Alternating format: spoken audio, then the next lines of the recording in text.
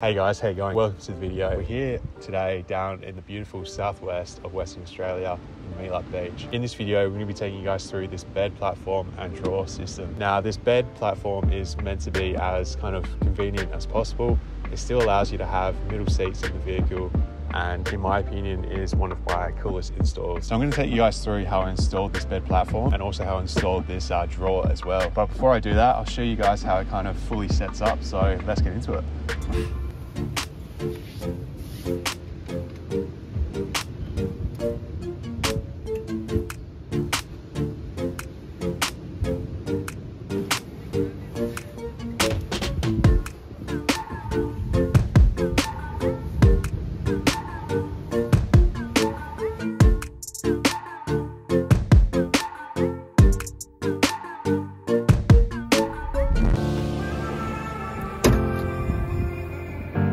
Terms of the installation, the first thing I did was install this drawer. So this is an XTM drawer that I got from BCF. The drawer is actually fairly simple to install. In these GU Patrols, the first thing you do is remove this front strip. Now the front strip has a couple of Phillips head screws that you have to take out, plus some clips as well.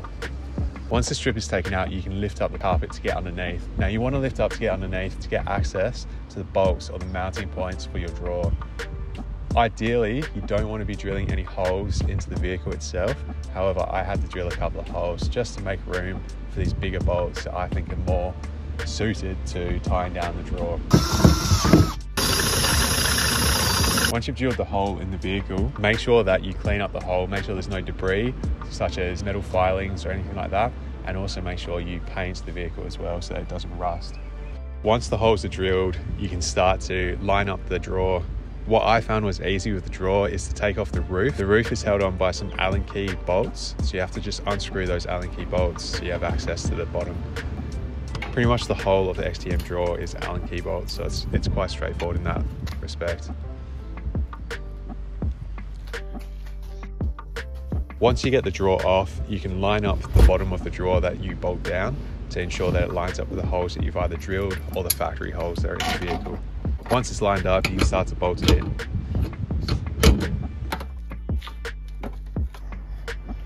Straight. That's straight? I don't know. Is that straight? All right, so that's the drawer done and dusted. The next step is the actual platform, the really exciting part in my opinion. I pretty much got all my parts from Bunnings, so I'm gonna link all the parts in the video here now, just so you guys can kind of do it the same way I did it. Now to start off with the platform, I had a piece of plywood that I measured up um, and, and, cut to size. Now I've got two pieces of plywood, like I said. So one is the largest piece of plywood. That's the one I cut up first and started using first.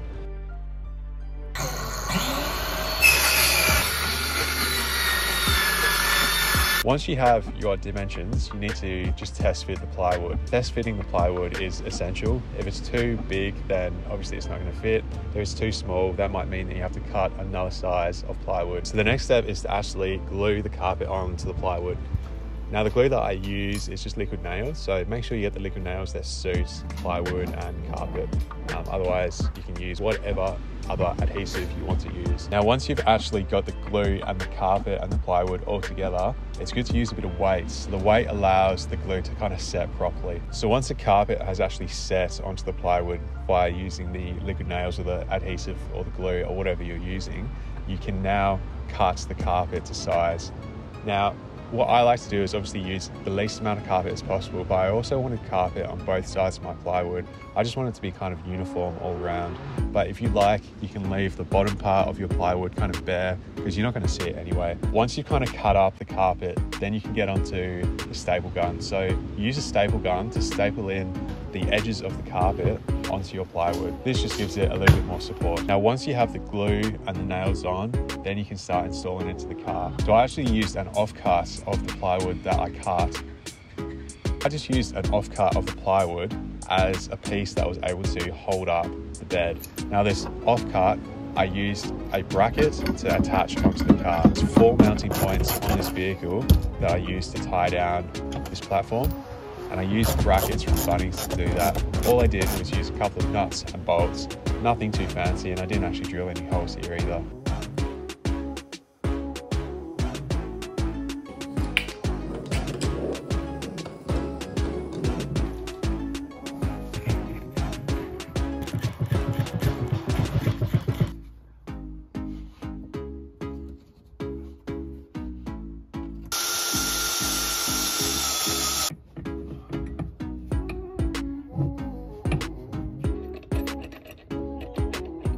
So once the brackets are in, you can start to really mount the platform onto the car.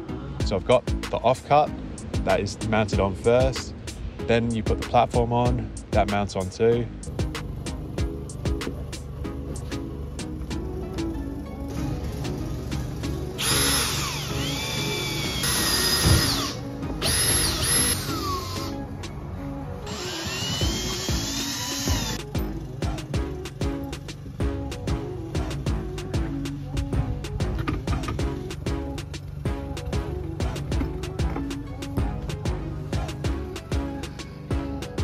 Now, although the base of the platform is kind of ready to go, and this is probably a good setup for someone who doesn't really want a bed, they just need something that allows them to be a little bit more modular in their camping or whatever they're doing, we still have one more step, which is to get the second platform on top of the first platform. Now, the second platform is made in the exact same way the first one is. You have to measure up exactly where it goes, cut to size, put the carpet on, and allow it to set.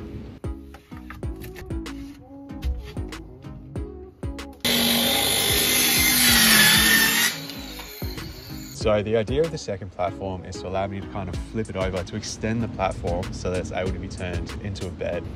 Now the way that I wanted to do this, there was two ways I was thinking. One, you can just like slide it on, or the other way is to put a hinge and allow it to flip over.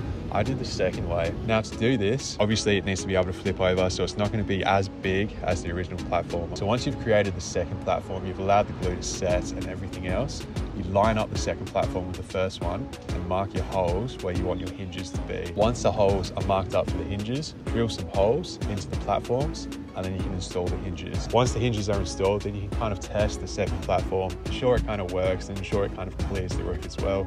Keeping in mind that the actual hinge itself is going to kind of push the platform up closer to the roof every time you flip it and also the carpet's going to like make it a little bit more kind of thick as well. So keep that in mind when you're doing your measurements